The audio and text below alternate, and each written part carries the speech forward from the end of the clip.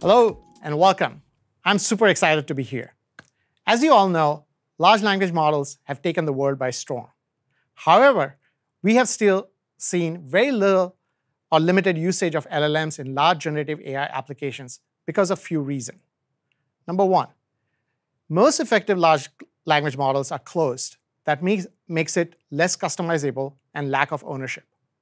Second, it is expensive to train and run LLMs, and therefore making it hard to build a viable business model. And third, it is hard to access, deploy, and learn the effective techniques to make these models work for your business. Llama was launched in July of this year with open permissive license, available free to use and research and commercial use. It's, it solves the first two problems. And today I will attempt to solve number three, which is the third problem, by showing you how easy it is to access Llama and use it in your application development. My name is Amit Sangani, and I'm Director of Partner Engineering team working on open source projects such as Llama and PyTorch. My team's primary mission is to make it easier for developers to integrate these platforms into their projects and solve real-world problems. In this session, we'll go through a lot of content. We'll start with the basic concepts and build on it, going through the actual code and running it. By the end of this session, you will have enough understanding of Llama 2, plus you will be able to take the starter code I show you today and use it in your Llama 2-based GenAI application. Quick disclaimer, there's a lot of content in this session, and I'll be going fast, so please try to follow along as much as you can. All the code I show you will be open source and available immediately after the session, so you don't have to write down anything. So let's start. All right, let's start with a few prerequisites. We expect the audience to know basic understanding of large language models and basic understanding of Python. If you haven't done Python coding, that's fine. You, you will still be able to follow along with the code. Now let's start with what is Llama. Llama are state-of-the-art models from Meta. These are large language models, and they come in three sizes, 7 billion, 13 billion, and 70 billion parameters. These models come in two flavors, pre-trained and chat models. Pre-trained models were trained using all publicly available data sets. No data from Meta's applications or user of Meta was used in training these models. And chat models are fine-tuned versions of these pre-trained models. And they are optimized for dialogue use cases. Choosing the model requires certain consideration about size, quality, cost, and speed. Larger models are more accurate and intelligent, but they are more expensive and has higher latency, versus smaller models, which are faster and cheaper to run, but maybe less accurate than the large models. So you have to consider these trade-offs while selecting the model for your generative AI applications.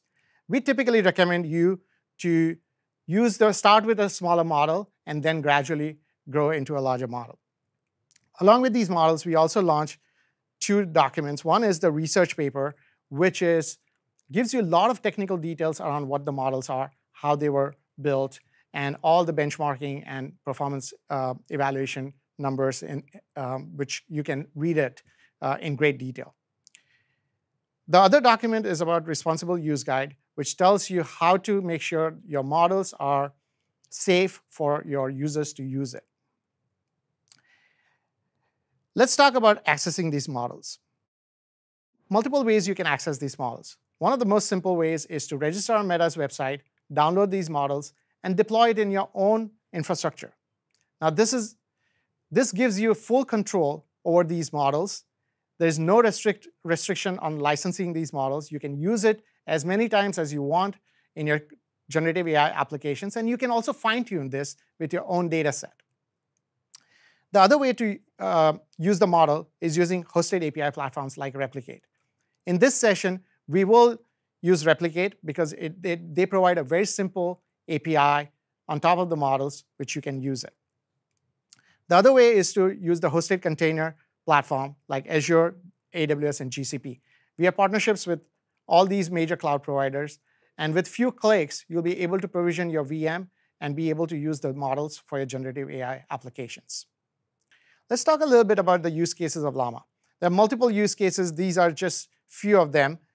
One of them is content generation, which is the most common use case. You can use Llama to generate content for your poems, for your articles, for your emails, whatever you want to do.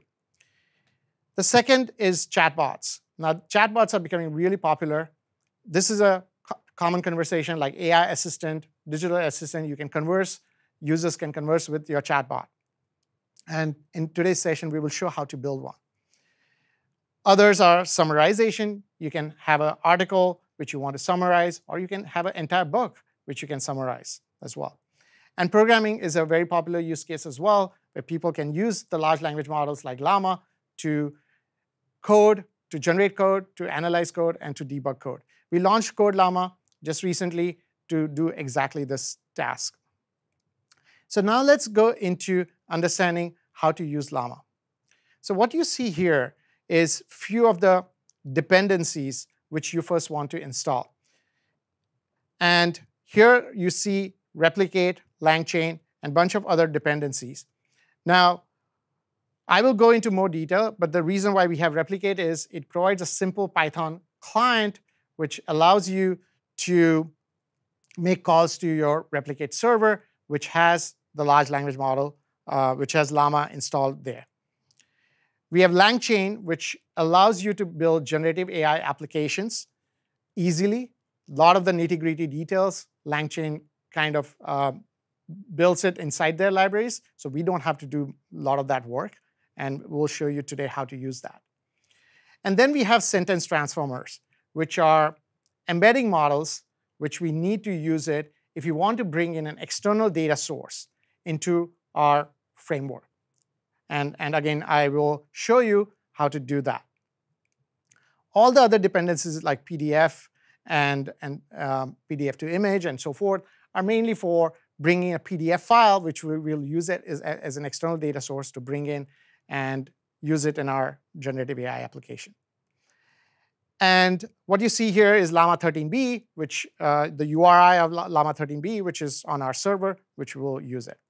So now let's go to some of the um, most important things, uh, how to first set up the replicate server. So first thing you need is a replicate token. And I have already got the replicate token, which I will add it here um, in a second. And once I have this, um, I will be able to run all the code here.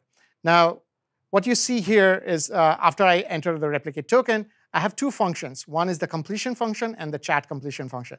Now, these are nothing but the wrapper APIs on top of the replicate function. The replicate.run allows you to make a call to the replicate server. I pass in the input prompt, which we will see how I pass into this basic function. The second function is the chat completion function, which is prompt and system prompt. And the system prompt allows me to prepend to the actual prompt and control the behavior of the large language model, Llama, in this particular case. So let's run the first uh, prompt. The typical color of a llama is. Now, because this is the first time we are running it, my servers are not warmed up, so it may take a little bit of time. Um, but here the whole goal is to see, make a very simple call to the server to see how the sentence completion works. Okay. Now this will take a few minutes, but let's go forward. So this particular uh, function, the chat completion function, now has a prompt and a system prompt. And as you can see, the typical color of llama is part of the prompt, and the system prompt says respond with only one word. Now, we are directing the model to tell us that you should respond with just one word, and that is what uh, uh, you are basically um, telling the model to behave in a certain way. Now we have received our response, and you can see that um, it is pretty elaborate. It is a little bit verbose, but it gives a pretty good understanding. The typical color of llama is lovely shade of brown. Um, there's a um, bunch of other things in there, like more reddish in color and so forth, and it looks pretty good. Now the next prompt, uh, we should run that, and let's click on that, and we should see the output pretty quickly now since the server is, is warmed up. And here you see the output is brown. So it responded in one word. Now, our models can do much more than that. It can return the, format, uh, the particular format you ask it to do. So in this particular example, you see the response uh, we expect is in JSON format, and it does return back in JSON format. So now this is really important because you can think about bring, sending a request to Llama, getting a response back, and that response is in a particular format, which you can plug in into your workflow for other tasks. And Llama can do all of that um, in conjunction with your entire workflow system. So let's talk about GenAI application architecture. Um, here's a pretty simple architecture. You see users interact with applications. Applications can be on mobile or web. And if your applications need to access large language model, then it can access it through an hosted API, and it can connect to your platforms. Now, your platform can be your own custom server, where you can host Llama, or it can be on Hugging Face or Replicate or any other server. Once the user request goes to, through the hosted API, it goes to the platform. Platform sends it to Llama as a user input. Llama processes it, synthesizes it, gets the output back, and then from the platform, the output goes back to the end user.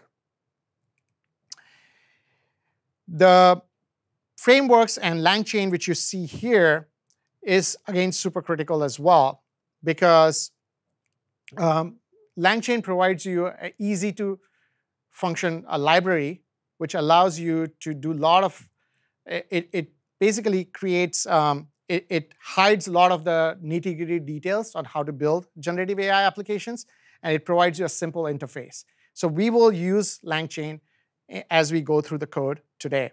Um, and I personally like it a lot because it makes building applications super easy. So let's look at the chatbot architecture. Okay, There are five most important things to build a chatbot. The first one is user prompts. The second is input safety, Llama 2, output safety, memory, and context. And let me explain this in more detail. User sends a prompt. The prompt goes to the input safety layer, okay? And the reason why we have this input safety layer is because you want to make sure that no harmful content goes to Llama. Now you can add your additional input safety layer as, on top of it as well. Once that input safety layer, you, the content goes to the context. Uh, it's, it's basically called the context going into the Llama model, which then outputs data, and, and again, it goes through an output safety layer. And that output content then is sent back to the user. Now, as you see, you have multiple layers, input safety layers and output safety layers, and both can be added on your side. Llama internally also goes through this safety checks. Now, to build a chatbot, we also need to make sure that we have memory because you have to store the previous context to make sure that Llama understands what the previous context is and then infer from that the conversation which you are trying to have it with the chatbot. So as we basically go through this, we'll look at the code as well. Now, LLMs are basically stateless. They are like HTTP. You send a request, you get a response back, and it doesn't have any context, previous context. So here's an example where we basically send a prompt chat, like what is the average lifespan of llama? And as we execute that, we'll see that the average lifespan of llama is around 20 to 30 years. That's what it returns back. Okay, so this single request response is called single turn. And you, you saw that um, that's, that's the request and you get the response. Now, let's take another example. We say, what animal family are they? Now, this is important because it doesn't know the context of they. And if we execute this, we'll see that it returns an animal family describing it as dragons. So clearly this is not right, and our model has hallucinated. And the reason why this is not right is because it was not able to store the previous question, which is lifespan of llama, and it was not able to infer that we are talking about llama. So llama needs to, to have the previous context if you want to have an intelligent conversation. So the next example, we try to store the previous context. So we have this question, user, what is the average lifespan of llama? And then assistant response back, which is what we put in here. And then we ask, what animal family are they? Because we have stored the previous context and sending it as part of the prompt, we are now getting a better answer, which is llamas are members of camelid family, which includes camels, alpacas, and vicuñas. And so by storing previous context in the memory and adding it as part of the prompt, we are now able to tell llama that we are talking about llama as a family and, and get the right response back uh, from, our, uh, from our model. So this is what um, basic chat conversation looks like. Now, this is very simplistic, obviously. When you do real chat applications, you will be able to store context. Uh, there'll be a limit to the context size because we have a limit of 2,000 tokens as the, as the context size. But you'll be able to store like 10, 15, 20 last conversations and send it as part of your prompt to the Llama model so that you can have this in intelligent conversation with the model. Now let's go to the prompt engineering. Now, as you can see from the previous examples, we have curated our prompts before we send it to the server.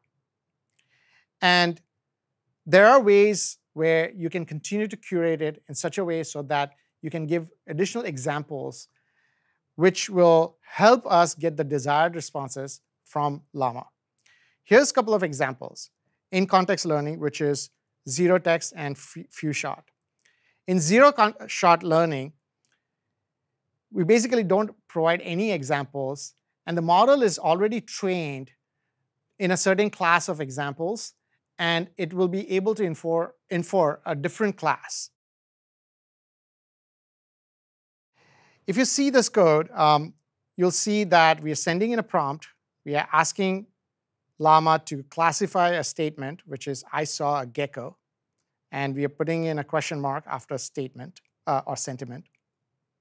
And we are expecting an output, which basically tells us what kind of sentiment was it. Now, our expectation is there are basically three types of sentiment, positive, negative, or neutral. And and when you execute this, you'll see that because Llama did not have any examples of that, it will return back as cute. Now, cute is an emotion, and it's not a sentiment. So what we are seeing is that your model, uh, Llama model is not able to infer what the sentiment looks like. So let's execute this in real time, and, and you can see the response back coming as cute. Now, what do we need to do to give us a sentiment which is grouped across positive, negative, and neutral? So the next example which you see here are by giving few additional prompts which tells Llama that, okay, here's an example of positive statement, which is classify I love llama as positive, I don't like snakes as negative, and I saw a gecko. Now Llama is able to infer accurately that I saw a gecko is actually just a neutral sentiment. Now this is again very simple example, but it's extremely powerful. Think about all the reviews you might have, 5,000 plus reviews or 50,000 reviews. You can actually provide it to Llama, and Llama will be able to identify which ones are positive and which ones are negative, and which ones are neutral. And so by curating your in input prompts, you are able to get the most desired output from Llama. Let's take another example, which is the zero-shot example. Here, you're basically asking a question, Vicuña, and expecting Llama to answer that. Now, to a human naked eye, if somebody asks what is vicuna or vicuna as a question mark, it's hard to answer that. And Llama is doing the same thing. It's answering back vicuna. But what if you give some examples and can you spot a pattern here that a question llama, it says yes, alpaca, it says yes, rabbit, it says no, and vicuna, we are asking to infer what does that mean. Now, when you execute this, llama is able to say yes. And what this means is it is able to understand that vicuna is of the same family as llama and alpacas. Now, this is extremely powerful because it is able to infer something which you haven't put in as part of the prompt, but all you have done is give an example and it is able to infer from that examples. So that's pretty simple examples of prompt engineering, but it is really powerful when you have to get the desired responses from Llama. Let's look at chain of thought. Now, what you see here is a word problem, and we are asking Llama to solve a word problem. Now, inherently, large language models, because of the way it works, it is very hard for them to solve word problems. So we are asking, because it just predicts the next token. So we are asking Llama, we are sending in a word problem, which is asking Llama. Llama started with five tennis balls. It buys two more cans of tennis balls. Each can has three tennis balls. How many tennis balls does Llama have? Now, if you take a few seconds, you know that we are asking for um, Llama started with five balls, two more cans. Each one has three cans, so the answer should be 11. But what does Llama return? It returns eight tennis balls. So clearly, it was not able to solve this step by step logically.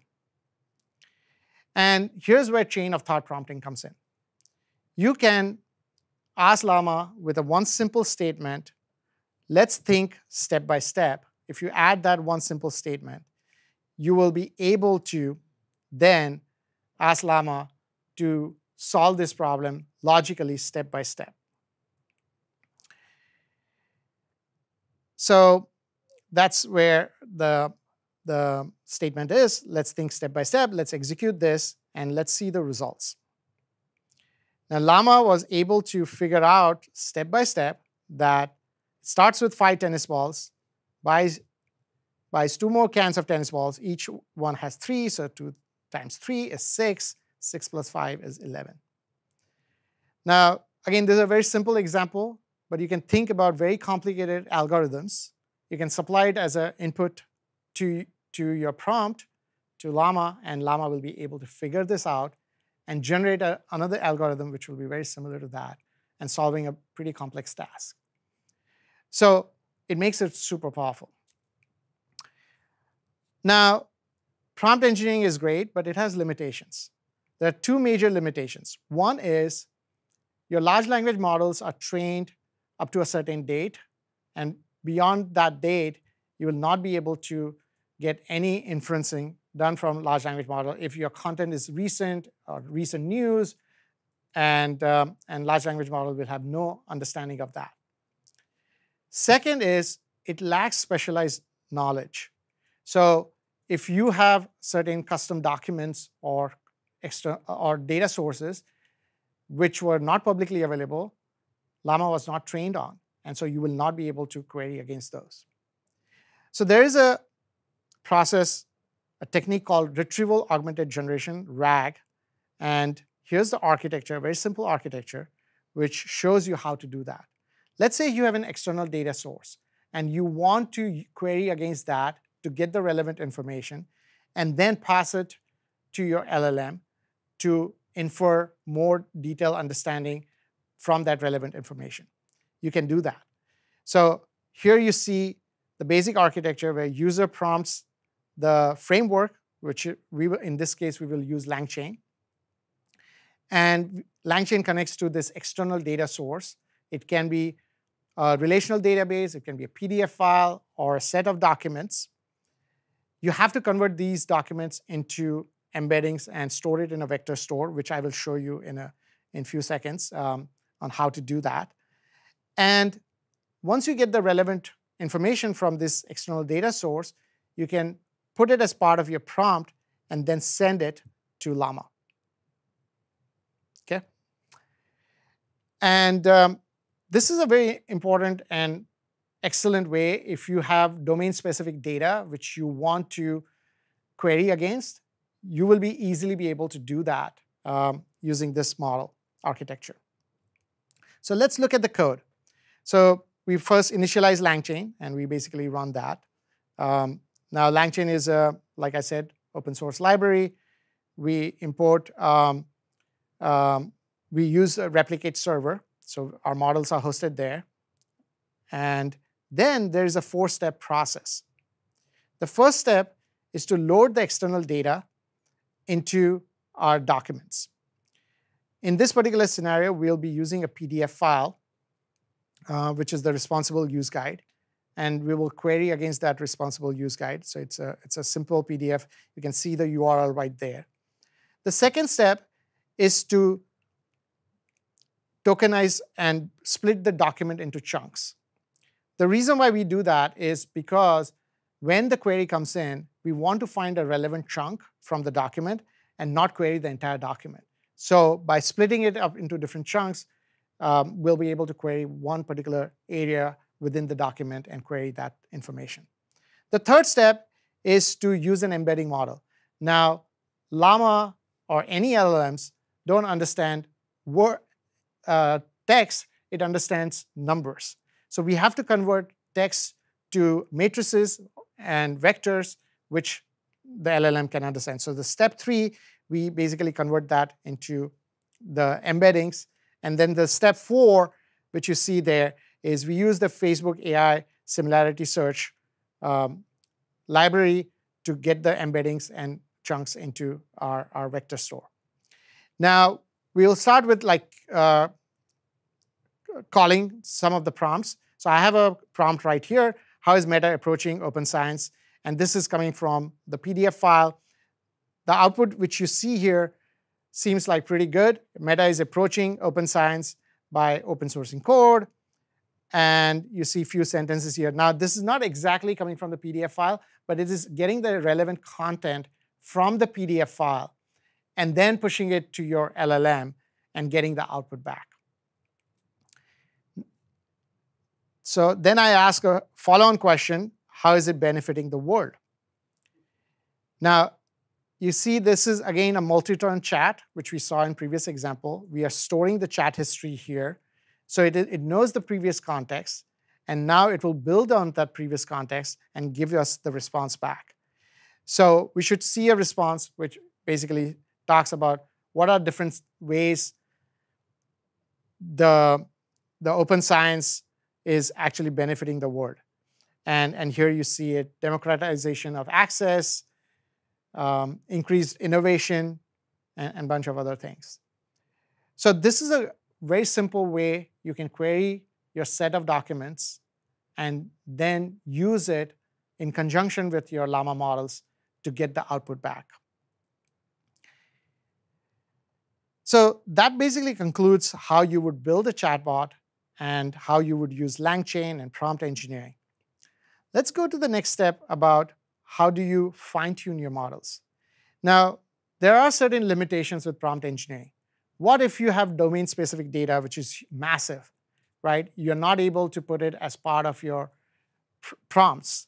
Um, you cannot index it in a vector store because it, you have a lot of domain-specific data sets.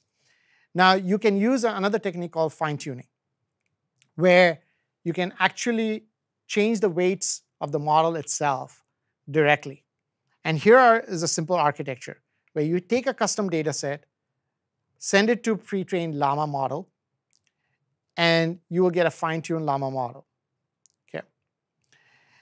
And, and the, the steps here, um, there are many, many different types of fine-tuning you can do. One is the parameter efficient fine-tuning. Second is LoRA, and third is QLoRa, which is a quantized model of LoRa. The whole goal here is to get a newly fine-tuned model which is serving, which is uh, has the intelligence against your own data set. Now, we are also using something called RLHF, which is the reinforcement learning through human feedback. Once you have the fine-tuned model from your data set, you want to continue to fine-tune it with some human annotations so that you can reduce the losses, it's more accurate. You also want to make sure that these fine-tuning models have certain benchmarks and quality. So you want to run these evals and quality benchmarks against those fine-tuned models to make sure the accuracy is high. And you can do all of this by using PyTorch. PyTorch is our open source framework, AI framework, which allows you to do pre-training and fine-tuning. It has a bunch of libraries which you can use to do the fine-tuning. Let's go to the next section about responsible AI. With power comes responsibility. Our, these large language models are extremely powerful. And you want to make sure that when you use it in your applications, the output generated from them is safe for your users. You want to make sure that you minimize the hallucination. There is a chance that you will not completely eh, eliminate the hallucination, but you want to minimize as much as possible. And you want to take care of the input and the safety, output safety layers. Llama itself is pretty safe, but if you have if your application demands additional safety, then you should be able to put that in there as well. Red teaming is super important as well. Red teaming is simulating real-world cyber attacks. So when Llama was launched, we actually did that exercise where we had more than 300 people, both internal employees as well as external vendors, work with Llama to make sure it's extremely safe. We had cybersecurity experts, um, misinformation experts, people from legal, policy, and so forth, who actually pounded Llama to make sure that the models, the uh, models is generating the output which is safe for people to use. And we continue to refine it until we hit certain benchmark numbers. We have a responsible use guide link here, and uh, I have mentioned the resources as well. I want to conclude this by saying that there's active research in this space. Every, every week we see new innovation coming up, new large language model coming up. Llama 2 is extremely powerful. Make sure safety and responsible is important, is the central pillar when you think about building generative AI applications. And I also want to do a call to action that this notebook will be available for you to use it. It will be available on our GitHub recipes. And please use Llama in your projects. This is a great starter code. You'll be able to use this Llama, uh, this code into your projects and give us feedback. We really value your feedback as we think about building the next generation of the next version of our model. With that, I would conclude my talk. My information is here. Please reach out to me. I also have information of my colleague who actually helped me build this notebook as well, Mohsin Aksen and uh, his, uh, please reach out to him as well. Thank you.